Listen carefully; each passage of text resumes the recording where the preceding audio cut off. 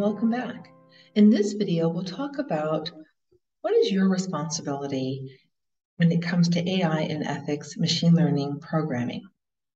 Well, when it comes to ethics and AI systems, the question to ask is whose responsibility is it to make sure that the data sets we use, the algorithms we create and apply, are designed and executed such that first, no harm is caused to individuals or groups, and secondly, that human well being and even flourishing is achieved.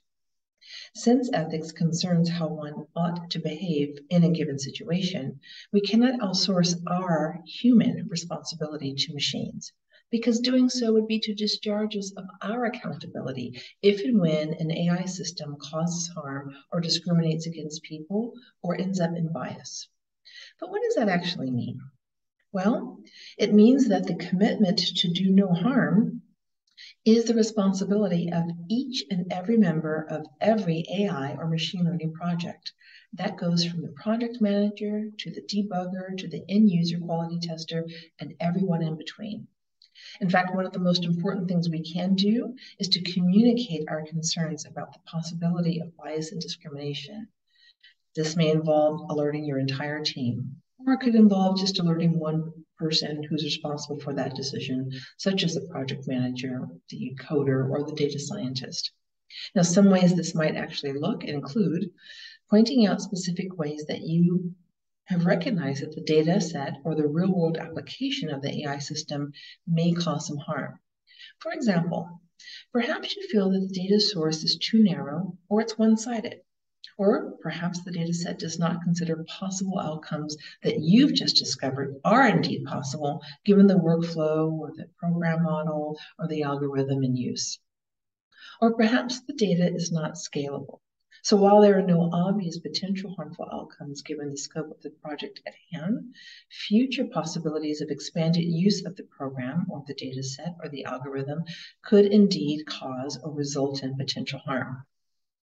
Now, if you're able and if your team is designed to permit it, one of the best things you can do is to suggest or offer an alternative programming model a coding model, or a different use of a data set that might actually counteract the bias that you've discovered.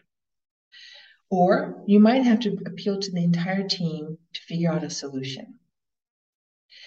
But knowing what you should and even wanting to speak up is often easier said than done. In some circumstances, while embracing ethical principles is often publicly encouraged, Actually doing so may privately interfere with the other specifications of the project or the project's target milestones. This is all the more the case if the team is under the pressure to deliver a new AI involved product or application before the competition does. So if you're finding all of this challenging, confusing, and maybe a little frustrating, please know that you're not alone in this. Ethics requires practice. And you don't have to get everything right overnight. In fact, you can't get everything right overnight. In his account of virtue ethics, the Greek philosopher Aristotle claims that humans have a function, and that function is to flourish. But human flourishing is not merely reactive joy. Rather, it is the result of consistently practicing good decision makings. And when we fail to do so, we just try and do it the next time. So just as a cheetah becomes an excellent cheetah, its function as a cheetah is to run fast, to hunt, and to chase. And it achieves that by practicing. We too become excellent human beings by practicing good decision making, what Aristotle calls rational virtue.